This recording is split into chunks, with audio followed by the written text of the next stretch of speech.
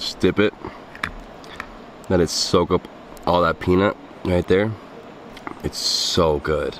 So, so good. In Miami, I grew up with this stuff. You got frita all day. It's just way better than french fries.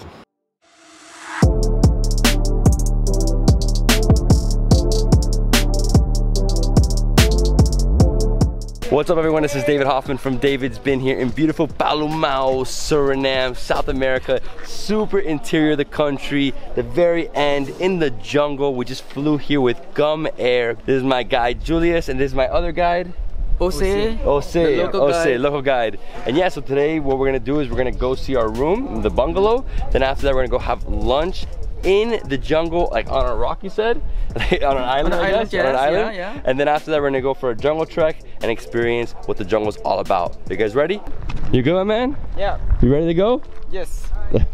So you're with me too for the next day? Yeah. Awesome. On tomorrow. after- Perfect, perfect. Tapanahony River.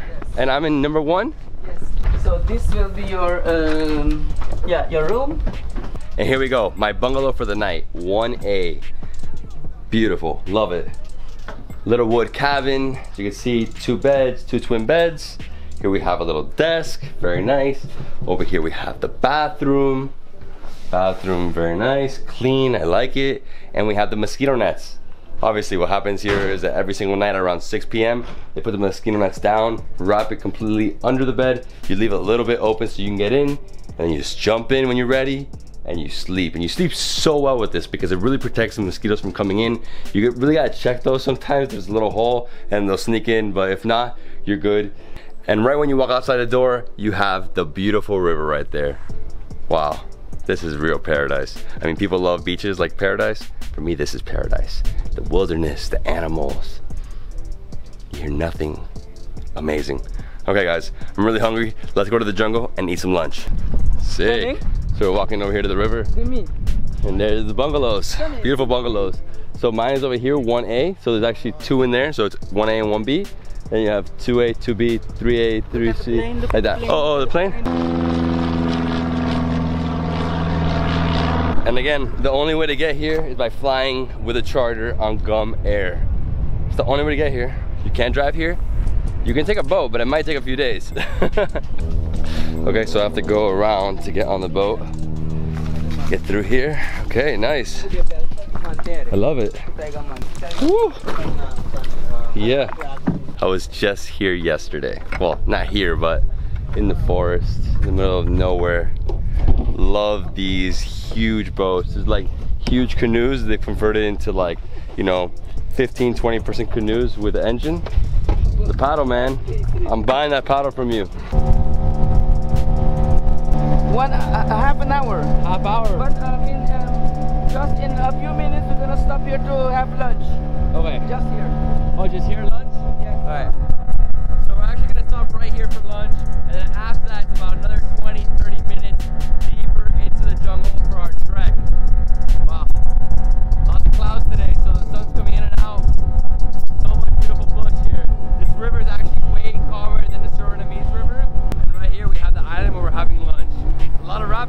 here. Whoa! this is fun, this is really fun. And that's it, we just post up right here? Yes. Wow, that's it? And then we'll have lunch and then we continue. Perfect. So we're just gonna post up right here. Awesome. What are we having for lunch? Do you have an idea? Just bread? No. I'm joking, I'm joking. This is my type of lunch, man. In the jungle, with no one around, very peaceful. This is so serene. Wow, look at this, the jungle right here. So there's like a little campground they have here. So if you want to post up, have some lunch, chill. Suriname, Suriname, add to your bucket list. This place has been changing my life every second along the way. Yeah. Yuca frita. And it is the sweet cassava, manioc. Animara. Mm-hmm. Give you the most tasty part this year. Yeah, the peanut. You want the peanut? Yeah, yeah, Over the um, manioc? Yeah, yeah. So basically, this is a coleslaw. Yeah. This is let's say a coleslaw. Coleslaw. This is a peanut that brought what the Indonesians brought this Yeah. delicious thing. Yeah, yeah, yeah. We got the amazing fish, and we have the yuca frita. I love the yuca frita. Oh, All right, and this is lunch. Delicious lunch. Look at that. The fish, the yuca frita. Oh, I love the yuca frita. Mmm. And peanut sauce. So delicious. Mmm. When you come to Suriname, you're gonna eat cassava every day. And I highly recommend the, the fried version. The cassava fried or yuca frita. It's so good. Cassava or yuca is almost like a super dense plantain in the middle, extremely dense, outside, fried. Then you got the peanut dressing. And next up we have the fish. I'm gonna be very careful here. We're gonna nervous with the bones. Mmm. Wow, love this fried fish. Look, open it up. You already see some of the bones, some of the spines right there.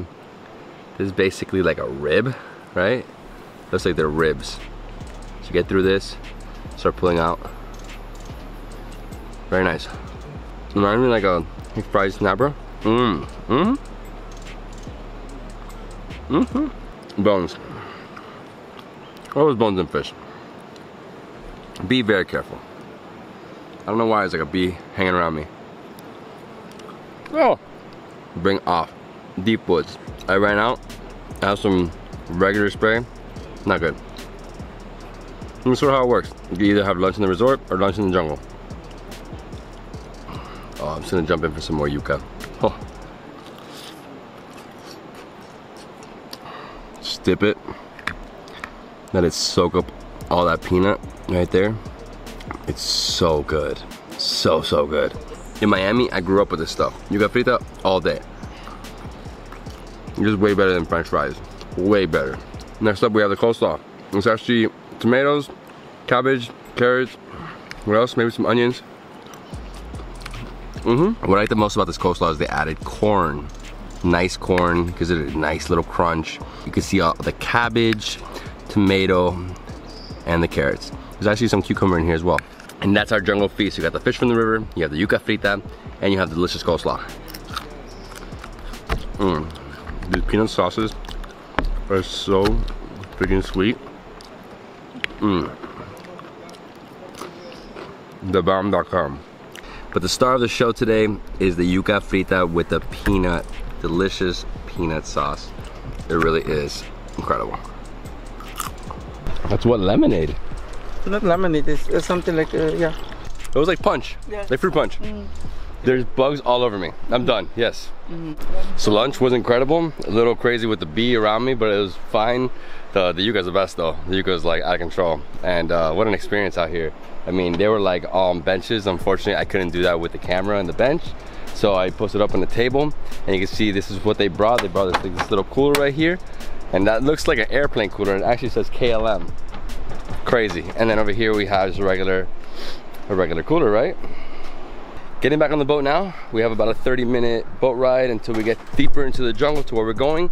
And then we're gonna go like on a 90 minute trek up to the top of a like a little hill. Yeah, yeah. Uh, this boat's not sturdy. oh, feels good though.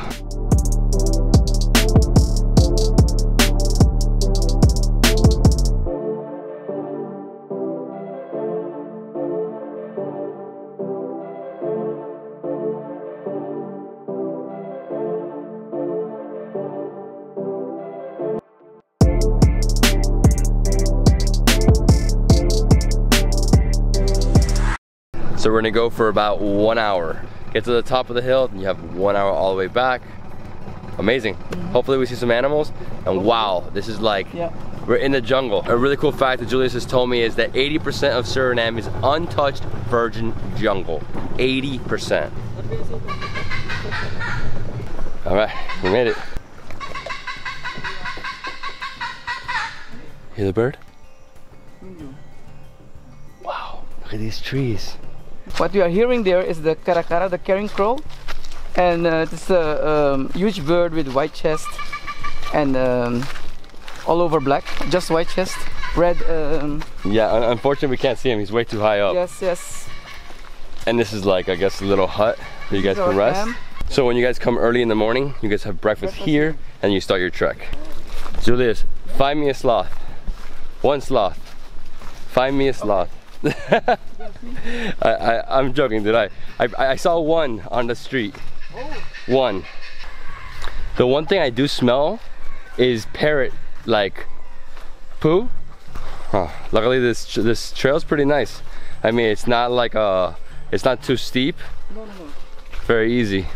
Very for beginners, you know. Yeah, yeah. If you go to Browns Mountain, that's for, like for super advanced. They make um, the roofs and the wall by cutting it, take off all the pins that is, are on it, and then um, like planting it.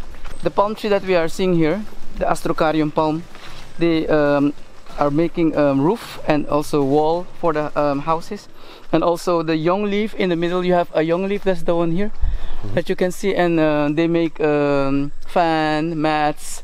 Astrocaryum. If you didn't know, there's like over a few hundred species of palm tree. There's Astrocaryum. A very nice thing about this trek is that you're really covered by the bush, so you don't even get any sun. There's a little bit of a breeze. You know, we do have the river right there. We do have the trees, so a lot of air flowing through. And luckily, there's not that many mosquitoes, but I did spray myself like crazy just to prevent any of them from biting me. And look at this, so many logs, so many. This is like, this is the best part about this trek, man. More logs. The trek's amazing, my favorite part is all the logs you have to jump over. Another one. Small creek, the only way to cross is to go on some of these logs. Super thin logs, okay? Whew. Okay, okay. Doing it with one hand is a little hard. Alright. Wow, 20 minutes in. I'm feeling the burn. These are the um, seed from this tree, the ingipipa, and um, normally the seeds are inside here. Okay, and um, when they uh, open, then they fall, and you can um, find just this, like this um shell. In the past, the Amerindian used to um, use it as a pipe in combination with the um, bamboo and smoke. Okay, but also the bark of this is very thin, like Whistler, and they used to um, like um, rolling um, tobacco. oh wow. Yeah, and um, smoke. So all the paddles that you find here in Suriname are made from this tree. And what's the name of it? Paddlewood tree. It also works as a telephone. Yeah. okay, um, we are we have here um, the basralocus. Um, this tree is most used for the dugout, and it is very very hard. So if you look at this size of this tree, can be more than 300 years old, because it grows very very slow. Yeah, very very hard. So if you cut it, and the steel chainsaw, you put it on it, then you see like fire is coming out. Wow. that hard. Well, I mean, it's a massive tree. How tall is it? A few hundred feet, huh? 45 minutes into our jungle trek and we haven't seen not a single animal. A few birds up in the trees and trees, that's it. So when you go out in the jungle and you're looking for wildlife, it's always hit or miss. Oh my God, I got another log, a little creek here to cross. Whew, I got it, I got it. Hopefully I don't get into the mud. I don't want to step in mud today. and uh, yeah, so whoa, whoa, this is like real wilderness here. And then, uh, and yeah, so I mean, this is how it is. You might see something, you might see nothing, you might see a handful of things. We're really hoping for an anteater, a sloth, a tortoise, something, but it's not looking good. But you never know. Still got 15 minutes. And then we have a whole hour to go all the way back. So we'll see something for sure. Making it up to the top of the hill. That's it, huh? One hour. And we made it. Whoa. There's a giant rock. Look at this boulder. Huge.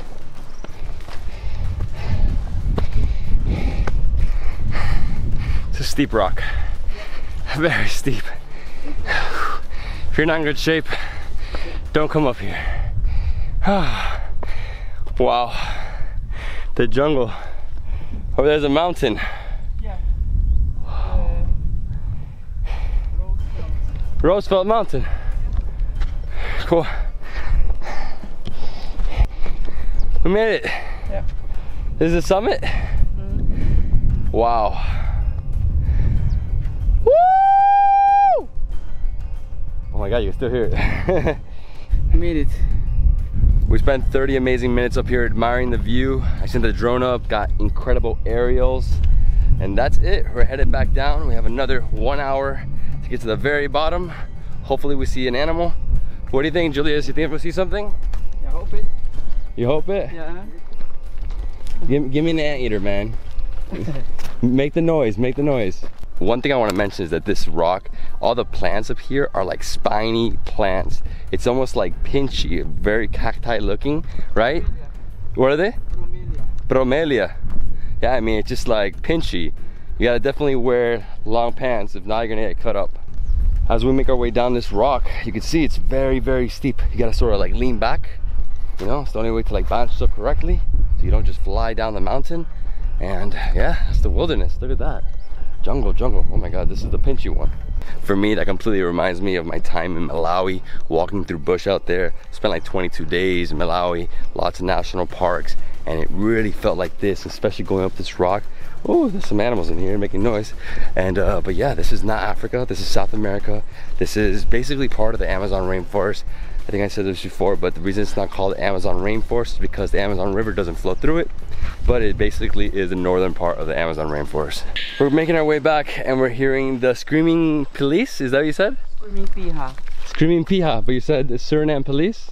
The bush police. The bush police. Uh-huh. It's Well right up here.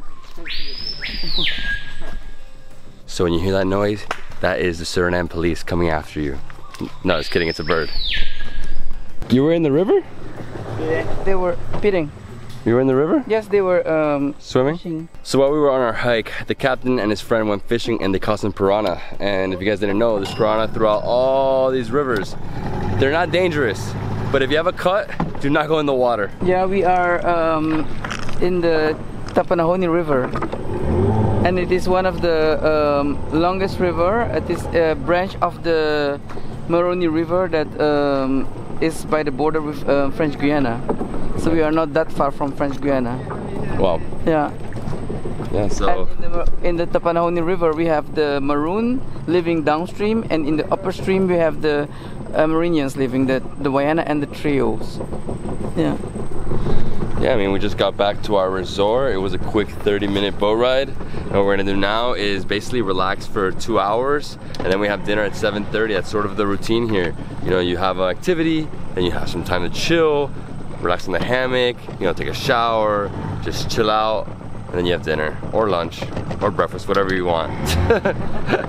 so I slept like an hour, took a little break. I was really, really tired. I've had already a, you know, eight day trip. Been really intense flying around, you know, boat, car, flight, boat, car, crazy. But um, yeah, this is uh, what this place looks like at night, as you can see. So I think I'm gonna skip out on filming dinner tonight. I think I'm just gonna take it really easy, put my camera away, relax. But I hope you love this video. Today was epic. We went through the jungle. We had a jungle food out there. Super delicious yuca. The yuca was the best thing. The fish was good, coleslaw was okay, but the yuca with the peanut dressing. The peanut dressing is making the food here in Suriname like unbelievable. I love that influence from Indonesia. It's just so, so good. It's so sweet. I mean, everything has that extra sweet to it. Well, if you love this video, please give me a thumbs up, leave me a comment below, and subscribe to my channel for more awesome travel content. I'll see you in the next travel food adventure in Suriname. See you tomorrow morning.